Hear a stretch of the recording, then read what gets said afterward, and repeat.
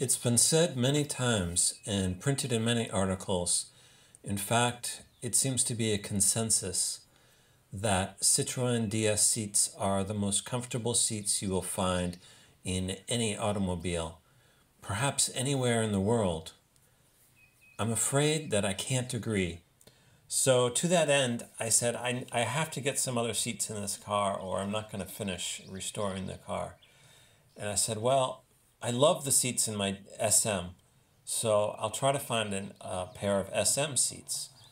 And a pair popped up uh, near me, and I went up and went and picked them up. And I am going to install these SM seats in my DS and see how I like it. I have high hopes, but I'm just unsure. And one of the things I'm unsure about is how how out of place they may look. So we're going to see. One of the nice things about the SM seats is that the angle of the seating surface is very adjustable. So you can raise the front independently of the rear and you can raise the rear and they go up a very significant amount. So you can raise the seat straight up just by raising the front and rear all the way up. So even though these seats are much thinner than the originals, uh, these are about 8 inches total and the originals are more like 11 inches. Uh, because the seats can go straight up, I think I'll be able to make them work in the car. So let's uh, get on putting these in the car. All right.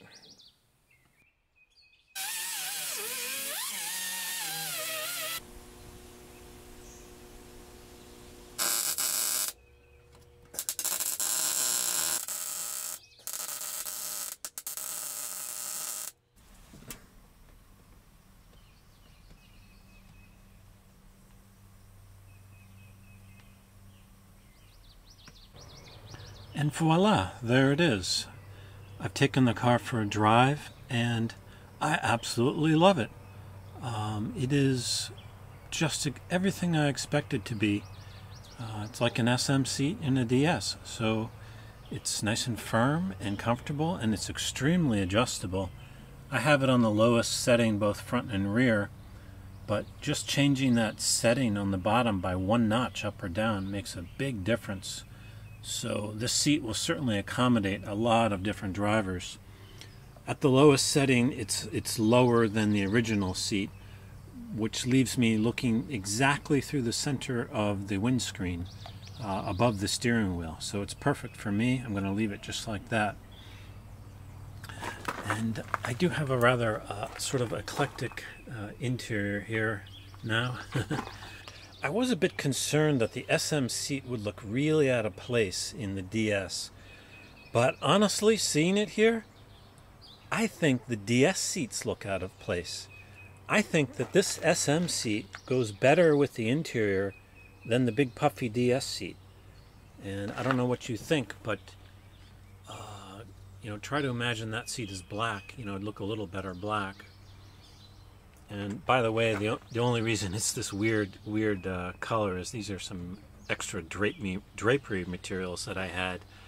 And I was doing a uh, test sew up for patterns, and I made it out of this drapery material because it was very similar in uh, texture to the what I was going to use originally.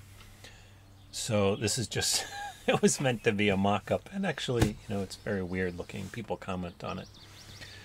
But I think the SM seat really goes with the car. Uh, this single stalk here goes with the single spoke. It just seems to fit in here very well. These pleats, they match here, and it's just, um, I sort of like it better stylistically. And it does give a lot more room in the cockpit. So when I get the other seat in there, there's going to be sort of a giant gap between the two seats. And this gap I'm going to fill with a armrest because I really like armrests. And the armrest on this side uh, works perfectly. I mean, you're sitting here and it's just, just the right height there. I'm not going to finish the interior until I finish one last thing that I've been looking to do on the car, and that is this. Yes, that is an SM rack. uh, the Diravi system. And the reason I'm putting this in is that I dislike the steering in the DS. Although it's very smooth, there's this notchy feeling right in the center, which I can't get rid of. And I have tried everything. Um, I have had the rack rebuilt. I have adjusted everything to perfection, including the angles, the, the valves, and there's still this little nat- notchy feeling in the center. And beyond that, it's also vague. You know, this, the, there's no good center feel to it. And the SM just has such wonderful steering, and I have this rack. I know it's very difficult to install, and there's some challenges with uh, with getting things lined up here. But I'm going to attempt it, and I have a parts car which is exactly the same as this car. So I'm going to take this old rack and do a whole test mock-up fit into the parts car. And then once I'm satisfied that everything's correct there, I'm going to rebuild this and then put it, uh, you know, into the uh, into my driving driving car. And I believe I'm going to try to keep the DS steering uh, wheel and column because I think that's so unique to the car. I really don't want to get rid of it and put an SM wheel in like other people have done. And if anybody has any tips about installing a Diravi rack in the DS, please do share in the comments because there's scant information on the internet. There's just a few posts here and there. I know it's been done, but um, yeah, there's not a lot of information on it. So um, please share, experts out there. So I haven't had the car out for a few years, and I did have a slight hydraulic leak. So as a matter of interest, I thought I'd show viewers who don't know about the uh, weird complexity here of the DS. These are all of the hydraulic lines, well not all of them, but just under this panel uh, that run the uh, rear suspension. And this is the height controller which senses and controls the height of the front suspension. There's one of these in the rear of the car as well. And these lines are kind of interesting because there's threaded connections, uh, just similar to uh, brake lines on a regular car. But also there are these soldered in connections where in order to replace the line you have to heat it up, un- unsolder it, and it is silver solder, so it's, it's quite a high temperature.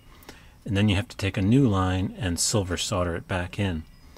And when I rebuilt this car, I did all of the brake lines or hydraulic lines in the entire car. So there were quite a number of connections, and some of them were just so bizarre that I ended up calling them spaghetti connections. The ones in there, uh, just just incredible uh, weirdness for sure. But what was leaking was uh, just up here. The uh, line to the main rear suspension was leaking a little tiny bit and also this boot was leaking. Actually, it wasn't the boot, it was the return line.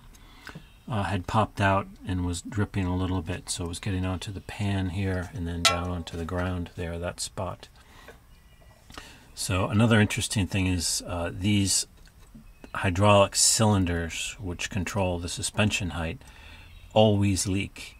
And what they did to solve that problem is they put these boots on with very tight seals and these boots fill up with hydraulic fluid, uh, the mineral oil, and then as the suspension goes up and down, the bellow sort of pumps the fluid back into the reservoir. These are like return lines.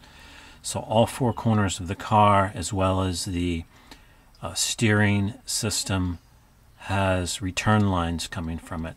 You can even see on the height controller right here, this little tiny line that's a return line because it leaks uh, by design. So just thought I'd uh, show you this uh, little interesting little side note here while I had this panel off.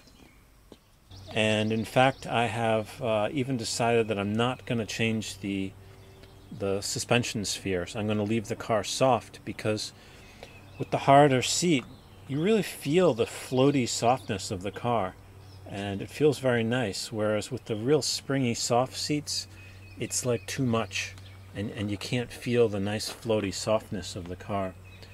So there you have it, um, Citronistas and Citronistos. I'll see you next time.